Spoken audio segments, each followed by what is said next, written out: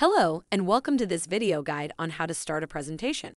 Instead of sticking to awkward greetings or the typical, thank you for coming, we invite you to consider how to start a presentation from a different angle with five easy to apply techniques.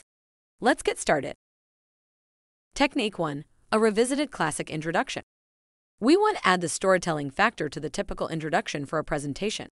Place yourself in the shoes of a narrator and begin by telling your name, followed by your job position. Then introduce a fact, such as how you landed a job in the company where you are currently working. Inspiring stories like how you can transition from a fast food chain to a senior developer position are absolutely inspiring as they show courage, dedication, and help people acknowledge their own chance of switching career paths. Technique 2 Using a hook. Psychologically, we are wired to pay more attention whenever an unexpected cue happens. It is the thrill of not knowing what's bound to happen next and has helped plenty of movie makers, soap operas, and writers to catch the audience's interest in their work. How can you create a hook? Follow these tips. Open with a provocative statement.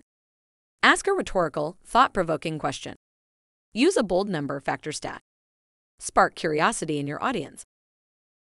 Technique 3 Begin with a captivating visual. When they say a picture is worth 1,000 words, Typically, they are not wrong in terms of engagement. Images can evoke a broad range of emotions, and that's strictly linked to the experiences a person has. Images don't exactly have to be high quality photographs. You can work your way with amateur photos, vector graphics, hand drawn pieces, etc., as long as they remain relevant to your topic and the audience can see the quality behind their work. Technique 4 Use the word imagine. Following the lines of storytelling techniques, terms such as imagine, picture this, and think about are the best introduction lines to connect with the spectators. The story doesn't have to be static, meaning you can go back and forth with the audience in your storytelling as long as you remain in line with the conclusion you want to achieve. Technique 5 The Power of Silence. Picture yourself attending a presentation in which the speaker remains silent for a minute or two. Just silence, no movements, no action.